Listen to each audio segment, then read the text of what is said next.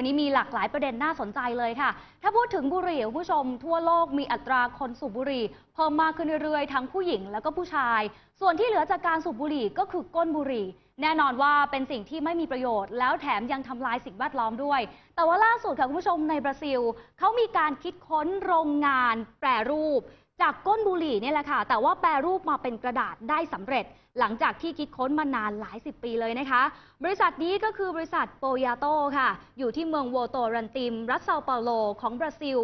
ล่าสุดนะคะก็มีความคิดเขาบอกว่าเจ้าของบริษัทค่ะนายมากอสโปยาโตได้รับแรงบันดาลใจให้ตั้งโรงงานนี้ขึ้นมา หลังจากที่หลายคนทราบดีนะคะว่าบุหรี่เป็นสิ่งที่ทำลายสิ่งแวดล้อม และแถมยังเป็นพิษอีกด้วย หนึ่งข้อมูลสำคัญเขาบอกว่าก้นบุหรี่ชิ้นหนึ่งอะคุณผู้ชม มีสารประกอบที่เป็นอันตรายมากถึง 8,680 ชนิดด้วยกัน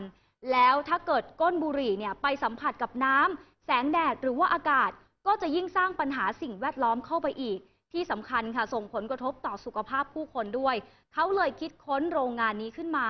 เขาบอกว่าจะนำก้นบุหรี่จำนวนมากเลยค่ะ ที่ไปไล่เก็บตามท้องถนนรวมไปถึงท่อน้ำต่างๆ ในบราซิล เกิดโครงการนี้ขึ้นมาร่วมกับมหาวิทยาลัยบาซิเลีย เขามีโครงการเริ่มมาตั้งแต่ปี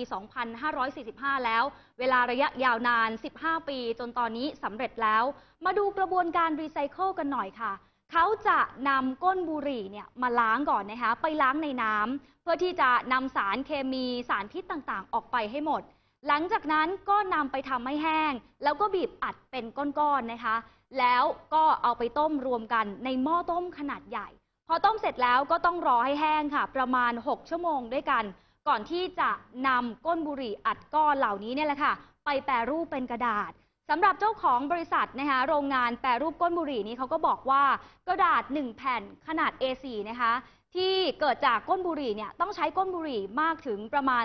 35 ถึง 50 ชิ้นด้วยกันนะคะซึ่งตอนนี้โรงงานนี้นอกจากจะคิดว่าแปรรูปกระดาษแล้ว เขาบอกว่ากำลังหาแนวคิดค่ะ ที่จะเปลี่ยนก้นบุหรี่ให้กลายเป็นผลิตภัณฑ์ต่างๆ ที่มีประโยชน์ต่อสังคมค่ะ